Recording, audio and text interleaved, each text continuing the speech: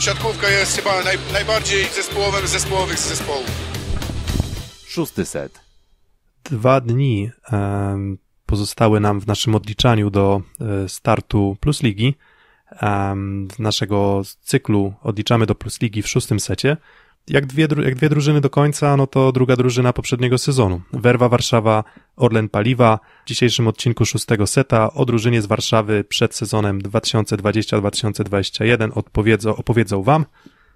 Y, z Rzeszowa Filip Kurfanty? Ha, no wiesz, zaskoczyłem cię, bo zazwyczaj to ja pierwszy.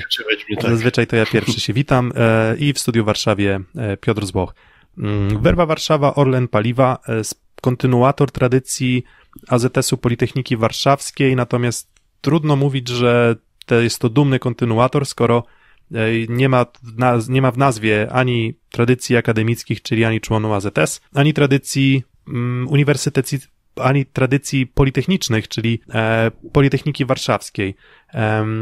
więc nie jest to już AZS Politechnika Warszawska, natomiast no, sam AZS Politechnika Warszawska od 2003 sezonu w Polskiej Lidze Siatkówki e, występuje i chyba trudno powiedzieć, żeby jakimiś specjalnie złotymi zgłoskami się drużyna z Warszawy zapisała e, przez większość czasu spędzonych w Plus Lidze, bo dwa miejsca piąte przez pierwsze paręnaście lat e, gry w, e, w, w, w Plus Lidze. Mm, jak ty pamiętasz te sezony? Zazwyczaj było biednie po prostu w klubie. Było biednie, ale było szyte na miarę i zwykle ten zespół całkiem przyzwoicie się oglądało. Choćby przypomina mi się to hasło, może to już trochę późniejsze lata aniżeli wcześniejsze, ale ale Wilki Bednaruka. I tam sporo młodych Polaków przez ten, przez ten zespół się przewinęło i to z takim jakby pozytywnym skutkiem, że oni zostali w Plizydze na dłużej, bo może już nie w zespole warszawskim, ale sporo takich siatkarzy można wymieniać chociażby, nie wiem, granie z parą y, Szarpuk, Śliwka, później wypłynął też y, Kwolek, nie wiem, Kubiak, Michał Filip, chociażby Bartek Lemański. Kubiak z Bartmanem grali przecież dawno temu w Warszawie. Jak z Bartmanem jeszcze za, za kadencji trenera Panasa, to jeszcze nie było e, wtedy nie tak wiem, zwanych Bednaruka. Karol, Karol Kłos, chociażby na przykład teraz. Tak, Karol Kłos zaczynał w Warszawie też przecież. E, nie wiem, czy Andrzej Wrona tam też. E, nie, znaczy Andrzej Wrona był w Warszawie, w tym klubie na pewno, a w sensie na, tak, na chwilę tak. jakby opuścił stolicę, ale wrócił już. Tak, więc, więc szereg zawodników, których Warszawa, warszawska siatkówka wykształciła. Um, ale no nie kończyło się to jakimiś e, specjalnymi sukcesami w tabeli ligowej.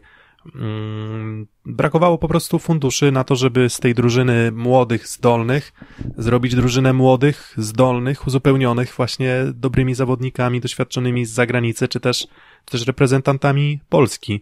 I ostatnie dwa sezony, no to to jest przełom w, w historii, e, czy w dwa, no w zasadzie nawet trzy można powiedzieć. Najpierw Oniko, e, sponsor z branży paliwowej, który przez pierwsze chyba dwa sezony pod tym szyldem właśnie najpierw, czy może nawet, czy nawet, nawet, nawet trzy, e, najpierw e, Oniko, jeszcze AZS Politechnika Warszawska, a potem już samo Oniko Warszawa. No i przed tym sezonem 18 no przed poprzednim sezonem, tak, przed sezonem 19-20, bo ten sezon 18-19 jeszcze udało się rozegrać w całości, zakończony srebrnym medalem, wtedy e, Bartosz Kurek dołączył do drużyny w trakcie sezonu, korzystając z tego, że e, no, rozbiła się e, ta stocznia szczecińska o skały, um, więc, więc tam były wielkie nazwiska, były aspiracje, co prawda sam Kurek w finale nie grał, no ale jak nie było Kurka, to nagle pojawił się Maciej Muzaj. Tak, więc jakby sporo już ciekawych zawodników, takich y, stopu można powiedzieć, y, przez Warszawę się przewinęło właśnie dzięki temu, że udało się znaleźć w końcu możniejszych sponsorów, aczkolwiek to, co się przez chwilę okazało takim motorem napędowym warszawskiego zespołu, warszawskiego zespołu też mogło się okazać e, gwoździem do trumny, bo już mało brakowało, w zeszłym sezonie być może doszłoby do tego, że drużyny z Warszawy w Pruszczyzy byśmy nie oglądali, bo, bo przez chwilę to był dosłownie projekt.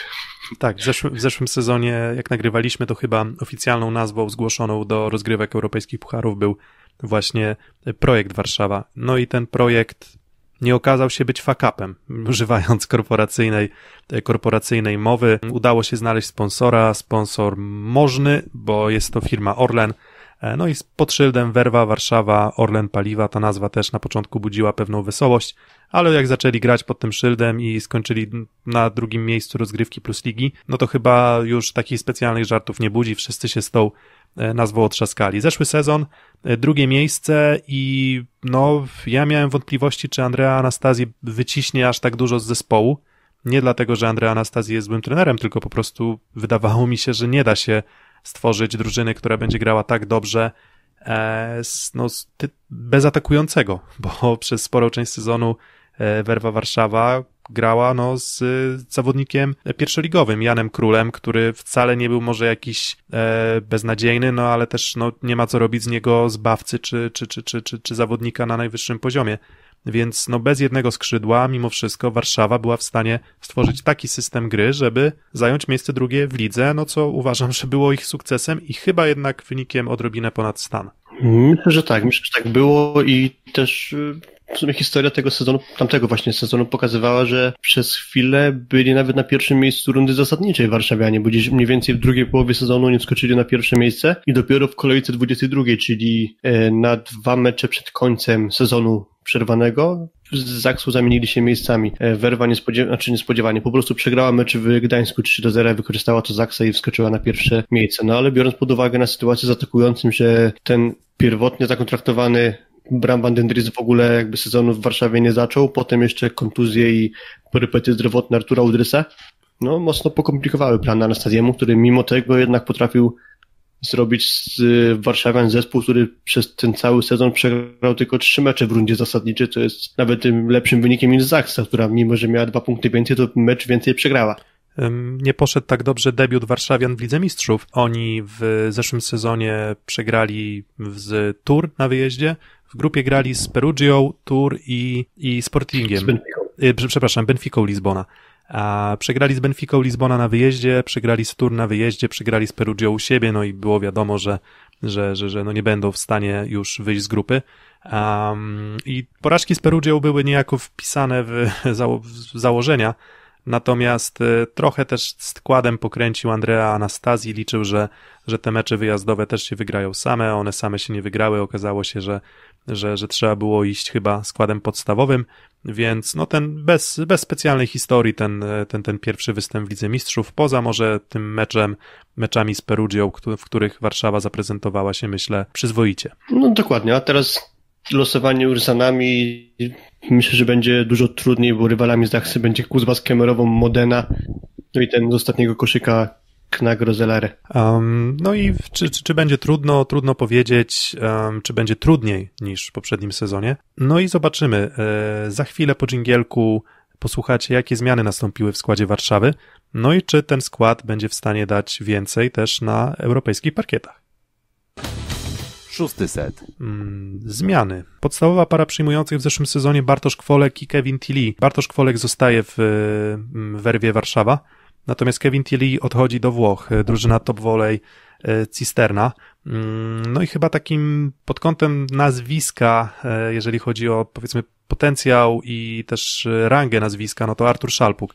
PGS Krabełchatu w zeszłym sezonie, on będzie zastępował e, Kevina Tilly, czy przynajmniej spróbuje uzupełnić inna charakterystyka zawodników, zupełnie odmienni. Dokładnie, to samo właśnie chciałem powiedzieć, na to samo chciałem zwrócić uwagę, że wydaje mi się, że akurat zastąpienie Tilly takim zawodnikiem jak Artur Szalpuk powinno trochę zmienić charakterystykę tego zespołu, bo jak popatrzymy w statystyki ubiegłego, ubiegłego sezonu, to Warszawa była obok Zaksy zespołem zdecydowanie najlepiej przyjmującym zagrywkę. Jeżeli odchodzi Tilly, a zastępuje go Szalpuk, to uważam, że będzie to zmiana na spory minus w tym aspekcie i też co za tym idzie, jeżeli będzie trochę gorsze przyjęcie, to za chwilę dojdziemy do pozycji rozgrywającego, no ale, ale już samo to, że nie będzie można liczyć na postawę defensywną Francuza, tylko będzie tam zawodnik o trochę większych walorach w ofensywie niż w defensywie, to to sprawi, że to będzie na pewno trochę inna werwa, inna werwa, inna werwa Warszawa. Tak, e, i trudno też, trudno też było mieć zastrzeżenia do, Kevi, do, Kevi, do Kevina Tilly, jeśli chodzi o postawę w ofensywie w zeszłym sezonie, więc e, nie jest wcale powiedziane, że,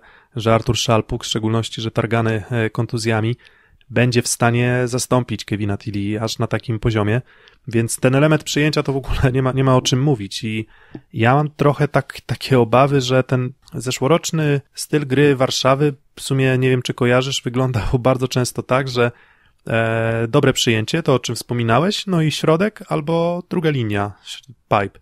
I środek i pipe, i środek i pipe i w zasadzie nie do zatrzymania była, była tutaj Warszawa, bo bo bardzo trudno było wyczuć, no bo te, te, te akcje były na siebie bardzo mocno nałożone, w zasadzie trudno było powiedzieć, czy ta piłka finalnie trafi jeszcze do środkowego, czy, czy do zawodnika na drugiej linii, no i tą skutecznością właśnie z drugiej linii Warszawa sobie, e, sobie dużo, e, dużo, dużo tej skuteczności po prostu tworzyła mm, z dobrego przyjęcia. Natomiast no teraz tego przyjęcia brakuje, no i trudno będzie grać, e, trudno będzie grać na środek e, aż taką ilość piłek jak, jak do tej pory. Natomiast no myślę, że Szalpuk trochę lepszy blok, e, być może lepsza zagrywka też od Kevina Tilly.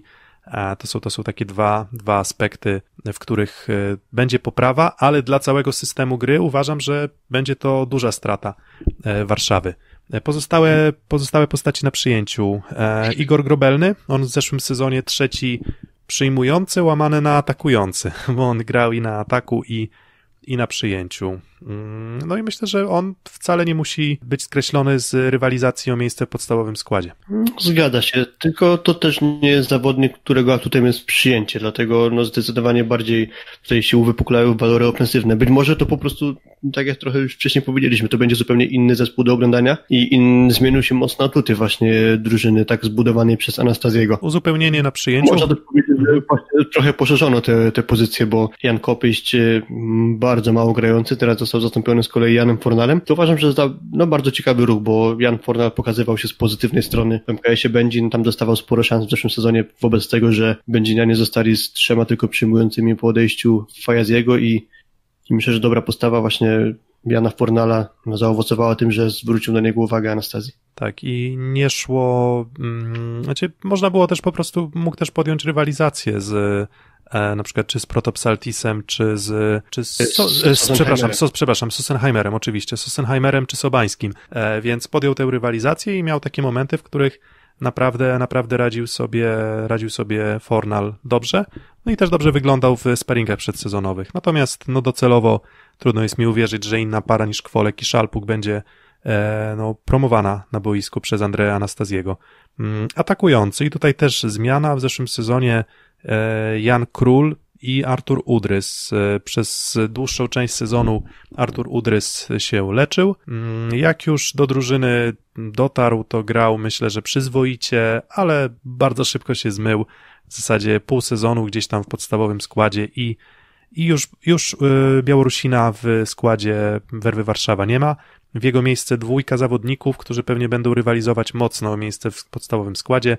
Michał Superlak, MKS Będzin, druga postać z MKS-u Będzin, Jakub Ziobrowski, Kuprum Lubin. No i patrzę w tabelę, a tam Będzin na miejscu 11 w zeszłym sezonie, a Lubin 12. No i tak nasuwa się pytanie, czy atakujący 11 i 12 zespołu będą w stanie zapewnić odpowiedni poziom do gry po przekątnej z rozgrywającym. No zgadza się, też zaskakująca w sumie obsada tej pozycji, chociaż już na samym początku się sprawa komplikuje, bo kontuzji barku, czy ło- łokcia, kontuzji łokcia doznał Jakub Żebrowski. Czeka go kilka tygodni pauzy, jest to jakby sprawa na tyle chyba skomplikowana, że postanowiono pozwolić na powrót króla, czyli, czyli, czyli Jan Króla, bo nawet w ten sposób zostało to przedstawione na profilach mm, social media warszawskiego zespołu, jakby powrót króla, mm, czyli Jana Króla. E, We- Werwa ma trzech e, atakujących, co jak popatrzymy na obsadę innych pozycji, na liczebność obsady innych pozycji, to to całkiem sporo. No ale tak jak przedtem powiedziałeś, no Jakub Żebrowski, Kuprum Lubin, Michał Superlak, rezerwowy MKS-u Będzin.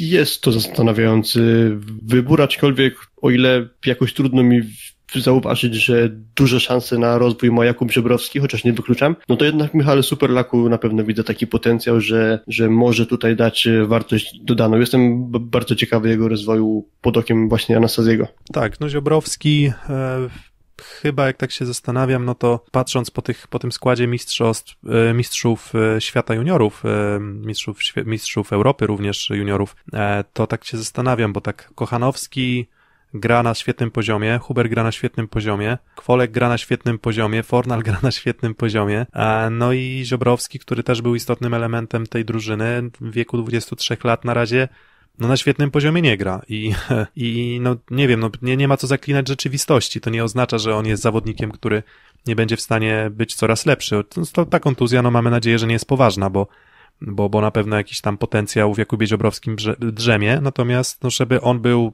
moim zdaniem jeden z gorszych atakujących poprzedniego sezonu. E, Nie wiem, czy to jest surowa opinia, ale, ale jakoś tak to wygląda, że, że byłbym w stanie znaleźć e, lepszych zawodników, no prawie w każdej drużynie plus ligi. Mhm. No tak, zgoda, ja się z tym zgadzam i tak jak też mówiłem, no nie za bardzo widzę na przestrzeni ostatnich lat jakiś wyraźny rozwój Jakuba Żebrowskiego, także dużo więcej tutaj liczę, jeśli chodzi o osobę Michała Superlaka. Tak, e, bo w zasadzie Jakub Ziobrowski, nawet tak jak się przyjrzy statystycznie, no to on bardzo mocno obciążony w ofensywie, ale ta skuteczność nijaka, na pewno dobry blok, to, to, to, to, to tak, to, to tutaj trzeba, trzeba to oddać. No o, Michale Superlaku warto też dodać to, co, o czym mówił um, Jakub Bednaruk, też na łamach e, naszego podcastu, że że no Faryna po prostu grał na tak niebywałym poziomie, że Superlak nie był wcale dużo gorszy. Gdyby mógł grać na dwóch atakujących, to grałby na dwóch atakujących, więc to, że on był rezerwowym w zeszłym sezonie go nie skreśla. Natomiast też, no z kolei on ma taką wadę, że on z tym, on te, ten blok akurat e, nie jakiś e, wybitny, natomiast e, znowu, okres przygotowawczy nie jest wyznacznikiem jednoznacznym, ale prezentował się solidnie. Uważam, że Michał Superlak w lepszej drużynie może po prostu trzymać dobrą skuteczność. I jak na razie na to się zapowiada. Mm, więc Michał Super... Ciekawa postać tyle, że zaczynał od pozycji rozgrywającego, przynajmniej tak jeszcze widniał jako zawodnik w Kielcach, potem przez środkowego przeniósł się właśnie w końcu na prawe skrzydło. Tak, um, więc no w sumie to tak z rozgrywających, którzy idą na prawe skrzydło, no to już kilka takich nazwisk można wspomnieć, więc zobaczymy, czy pójdzie e, ścieżką e, Abdela Nimira. Nimira, tak, Nimira Abdelaziza, dokładnie. Tak, e, środkowi, tutaj bez zmian, Piotr Nowakowski, Andrzej Wrona, e, Jakub Kowalczyk, e, trzech doświadczonych środkowych już mm, wiekowych to byłoby obraza, bo, bo jeszcze, jeszcze duży, jeszcze myślę, że spokojnie kilka lat grania przed nimi. Natomiast no doświadczenie, doświadczenie bardzo duże, Piotrek Nowakowski, klasa sama w sobie, myślę, że no zdecydowana czołówka środkowych w zeszłym sezonie. Andrzej Wrona, Jakub Kowalczyk, no raczej Andrzej Wrona grał w zeszłym sezonie, albo Patryk Niemiec, Patryk właśnie, Patryk Niemiec z tych odejść o których warto wspomnieć. Mówiliśmy, że Tilly e, odszedł do Włoch, Udrys odszedł, e, Patryk Niemiec do Aluronu CMC Warty Zawiercie. Mm, no i nie ma zaś żadnego zastępstwa, tylko z trójką środkowych e, Werwa Warszawa rozpocznie sezon. No i chyba Nowakowski Wrona, no to to jest taki zestaw etatowy na środku. Tak, ja myślę, że trochę może brakować Patryka Niemca, bo uważam, że jest lepszy zawodnik niż Jakub. E, chociaż tak naprawdę ciężko dokładnie zmierzyć na co stać Jakuba Kowalczyka, bo on dość niewiele grał, jak już pojawił nam się w Plus Lidze ale wobec właśnie Patryka Niemca, no to sądzę, że to będzie jednak mimo wszystko osłabienie i, i myślę, że to będzie strata drużyny z Warszawy. Jeśli oddano go lekką ręką, to sądzę, że mogą czasem pożałować, chyba że to. Nie, ja po prostu obstawiam, że to była samodzielna jakby decyzja Patryka, nie że on został wypchnięty z Warszawy. Um, w zeszłym sezonie, na co jeszcze warto zwrócić uwagę w kontekście Andrzeja Wrony, to trudno jest się doczepić do jego umiejętności defensywnych, czyli gry na bloku. E, natomiast on już nie był jakimś środkowym, który w tych parametrach skuteczności byłby w samej czołówce. No i też trzeba powiedzieć jedną rzecz, że problemem moim zdaniem tej pary środkowych Nowakowski-Wrona jest zagrywka, bo te nowe piłki, o których się dużo mówi, na pewno osłabiły jakby trudność e, przyjęcia flota. Przyjęcie flota jest teraz zdecydowanie łatwiejsze, no i widać, że Nowakowski na przykład e, próbował w sparingach przedsezonowych takiej zagrywki z wyskoku. Natomiast no jeżeli całe życie zagrywasz flotem i nagle w wieku tam 32 czy 3 lat próbujesz się uczyć e, próbujesz się uczyć e, zagrywki z wyskoku, no to myślę, że nie jest to raczej skazane na, na powodzenie, więc mm, no tutaj widzę taki, taki minus, tak, bo wystarczy wspomnieć, no David Smith i Jakub Kochanowski, atakująca zagrywka. E, Mateusz Bieniek, Norbert Huber, atakująca zagrywka. Gładyr, Wiśniewski, dobra zagrywka. E, Teriomienko, Poręba w Olsztynie, no jest wiele drużyn, w których ci środkowi Tamema Dżendryk na przykład, kolejny, kolejny przykład. Jest taki trend, że e, środkowi coraz więcej zagrywają z wyskoku. W Warszawie tego może zabraknąć. No zgadza się. Myślisz, że życie cię nie potrafi już w żaden sposób zaskoczyć, a nagle widzisz Piotra Nowakowskiego serwującego z wyskoku Tak, wiesz, Więc... jeżeli, tak, tak jak, jak to ktoś komentował, że e, gdy myślałeś, że 2020 rok nie może stać się dziwniejszy, to, to, to, to nagle zobaczyłeś, zobaczyłeś Piotra Nowakowskiego e, z atakującą zagrywką. Mm, więc hmm. Nowakowski klasa w bloku, Wrona klasa w bloku, Nowakowski też wybitny w ofensywie. Na pewno duża wartość tutaj ofensywna Piotra Nowakowskiego, bo on też bardzo pewnie ułatwia grę e, skrzydłowym, bo przy dobrym przyjęciu w zasadzie jest trudnych piłek jest w stanie atakować na niebotycznym zasięgu. Muszę, to, to stwierdzenie musi paść, jak się analizuje grę e, Nowakowskiego. Całe zestawienie myślę, że solidne, ale jakby miał wskazywać, no to za Scroll Bełchatów na przykład i, i za Zaxą, tak, jakby miał wskazywać ich ogólnie potencjał, ocenę tego zestawienia środkowych. I rozgrywający e, Antoine Blizzard, niejako wykreowany przez Warszawę, przyszedł jako młody rozgrywający, który się uczył jeszcze gry i wszedł na bardzo wysoki poziom. E, on w przyszłym sezonie będzie grał w Zenicie Sankt Petersburg. Mm, zgadza się. Trafił do Warszawy, myślę, że mocno sobie zapracował swoją dobrą grą na transfer do tak klasowego zespołu. Myślę, że jakiś lukratywny kontrakt tam musiał wejść w życie. E, myślę, że to bardzo duża strata, jeśli chodzi o Warszawian, bo on dobrze moim zdaniem pasuje właśnie pod charakterystykę rozgrywających, których preferuje trener Andrea Anastazji, bo jak posłuchamy, jak popatrzymy, jacy tam zwykle siatkarze trafiali właśnie do jego zespołów, czy to Łukasz Żygadło, czy nie wiem, TJ Sanders, e, Marcin Janusz chociażby, znaczy Łukasz Żygadło mówi o reprezentacji polskiej tak, oczywiście. Tak, tak, oczywiście. E, Blizzard, no to to są raczej zawodnicy, którzy nie są zbyt może kreatywni, finezyjni, raczej tacy rzemieślnicy, bym powiedział, dokładni, wiemy czego się po nich spodziewać, no i właśnie Andrea Anastazji chyba wie czego się spodziewać, e, chciałby wiedzieć czego się spodziewać po swoich rozgrywających. No i pod tym względem myślę, że to duża strata właśnie Warszawy, oprócz tego jeszcze walory duże, jeśli chodzi o ofensywę i, czyli zagrywka, no i blok. Tak, chyba najlepiej zagrywający albo nie wiem, może jeden z najlepiej zagrywających, rozgrywających ligi w poprzednim sezonie. Myślę, że też jeden z najlepiej blokujących, no i też nie sposób nie wspomnieć o tym, że on bardzo chętnie kiwa i robi to świetnie. Bo, bo no, w zeszłym sezonie 60% w ataku dokładnie, jeżeli chodzi o te jego kiwki, czy też przechodzące piłki. Jak się podejmuje, to praktycznie się nie myli, praktycznie nie daje się nie, nie dawał się zablokować Blizzard. No i wydaje się, że Trinidad de Haro to jest dość podobny, dość podobna charakterystyka. Ja bym go określił takim mianem mini Blizzarda, bo tak, bo on też ma dobry blok, też nie boi się kiwać, też ma zagrywkę, którą potrafi ukąsić, więc e, te wszystkie parametry, tutaj to, to, to się zgadza. Jakby ten, te elementy powinny być, nie mówię, że na poziomie Blizzarda, ale to będzie powiedzmy gdzieś charakterystyka mocno e, w stylu Francuza. Jeżeli chodzi o rozegranie, no z rozegraniem jest zawsze trudno, natomiast no i było nie było w zeszłym sezonie mm, był zawodnikiem Tour, e, czyli najlepszej, najlepszej drużyny Ligi Francuskiej, która właśnie z Warszawą e, wygrała. Mm, no i kto wie, być może Anastazji już właśnie w trakcie tych spotkań z Tour w zeszłym sezonie zagiął parol na, e, na Hiszpana. Mm, no i, i po prostu zażyczył sobie, że no on będzie idealnie pasował jako zastępstwo Antuana Blizzarda. Mhm. Jest jeszcze jeden punkt wspólny, bo trener Anastazji przez, zdaje się, jeden rok był selekcjonerem reprezentacji Belgii w czasie, gdy Antu, e, Angel Trinidad był w Knaku Rozelare, czyli jak Anastazji oglądał Ligę Belgijską, to na pewno gdzieś tam mu wpadł w oko właśnie hiszpański rozgrywający przy okazji. Oprócz tego kojarzę takie wypowiedzi Andrzeja Anastaziego wprost mówił, że chciał zakontraktować Sayeda Marufa, irańskiego rozgrywającego, ale przyszedł koronawirus, przyszła sytuacja epidemii, pewnie trochę mniejsze finanse, jednak po Irańczyka się nie dało sięgnąć. A uważam Trinidada za bardzo solidne zastępstwo i może pójść drogą e, Antoana Bryzarda, chociaż to już jest trochę starszy zawodnik. Więc e, no, nie sposób nie traktować jednak tego jako, e, jako osłabienia.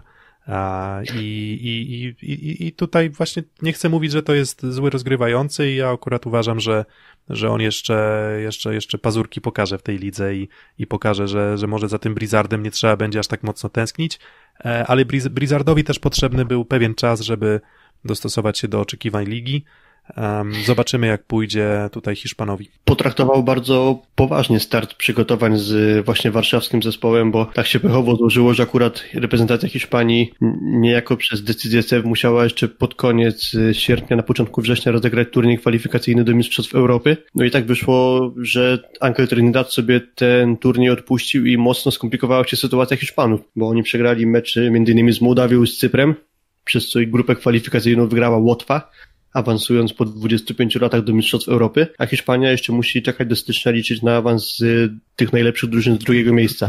Tak. To, że Trinidad sobie kadrę odpuścił jest dosyć, dosyć enigmatyczne, bo rozmawiałem z jedną z osób z kadry Hiszpanii, no i jak właśnie zapytałem o co chodzi z Trinidadem, to dostałem odpowiedź w stylu, no dobre pytanie. Hmm. W skrócie, jakby charakteryzując sytuację, to decyzja 50 na 50 klubu i zawodnika o tym, że on zostaje w Warszawie na przygotowanie do sezonu, a reprezentacja Hiszpanii sobie odpuszcza. No właśnie, no to... Myślę, że dosyć y, problematyczna kwestia właśnie, co zrobić w takiej sytuacji, gdzie wchodzisz jako nowy rozgrywający, przybywasz do nowego dla siebie kraju i miałbyś zostawić w kluczowym momencie przygotować swoją drużynę, żeby pojechać na spróbowanie Hiszpanii, a z kolei odpuszczasz sobie kadrę Hiszpanii i możesz okazać, że nie będziesz miał okazji gry w Mistrzostwach Europy. A akurat dla Hiszpanii to jest chyba taki no, ważny aspekt, żeby w ogóle w takim turnieju wystąpić. No, ciężka sprawa. Ciężka sprawa i tak no kuluarowo ciekaw jestem jak mocno właśnie sama Warszawa maczała w tym palce.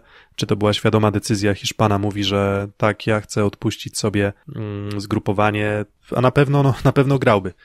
E, w Hiszpanii, na pewno grałby w reprezentacji Hiszpanii, na pewno byłby dużą, dużą wartością. Kontrowersyjna, kontrowersyjny temat, jak zawsze z tymi sytuacjami, gdy ktoś tam odpuszcza, odpuszcza grę i w sumie nie ma kontuzji, tak? No bo jakby cały sezon przygotowawczy rozegrał od deski do deski, um, wyżej postawił e, klub nad reprezentację, na to wychodzi Angel Trinidad e, de Haro. Na libero Damian Wojtaszek e, to jest pierwszy, drugi e, libero reprezentacji Polski. W zasadzie po ostatnim roku już trudno powiedzieć. Ta hierarchia wcześniej ustalona, że to Paweł Zatorski jest zdecydowanym numerem jeden, trochę się zatarła. No Wojtaszek wszedł na poziom bliski Zatorskiemu, a może nawet i momentami e, potrafi go e, przewyższyć, więc no to jest klasa światowa na libero. No zgadza się, chociaż jak się patrzyło na Pawła Zatorskiego w Arłamowie, to jakoś tak ma, ma się wrażenie, że może dalej ten Zatorski jest jednak postacią numer jeden, chociaż to może przez to, że Damian Wojtaszek nie miał okazji jakby też zabłysnąć w tamtym turnieju, no ale te niektóre choćby obrony Pawła Zatorskiego jedną ręką, no to no, dalej robił kapitalne wrażenie, ale faktycznie patrząc po tym choćby wymiarze, tak to nazwijmy, minut na boisku, no to zaczyna się to tak klerować, że powoli się rywalizacja między nimi no bardzo wyrównuje i kto wie, co tam siedzi w głowie Vitala Heinena, no na, na pewno będzie ciężki wybór, jeśli chodzi o obsadę libero właśnie na Igrzyska Olimpijskie, ale, ale tu i teraz no to wygląda na to, że Damian Wojtaszek bardzo, bardzo mocno zbliżył się poziomem do Pawła Zatorskiego. Tak, jeżeli ktoś ma pomóc Warszawie utrzymać poziom przyjęcia z poprzedniego sezonu, to, to na pewno będzie to e, Damian Wojtaszek. No i jeszcze Michał Kozłowski, bo tak nie wspomnieliśmy, solidny drugi rozgrywający.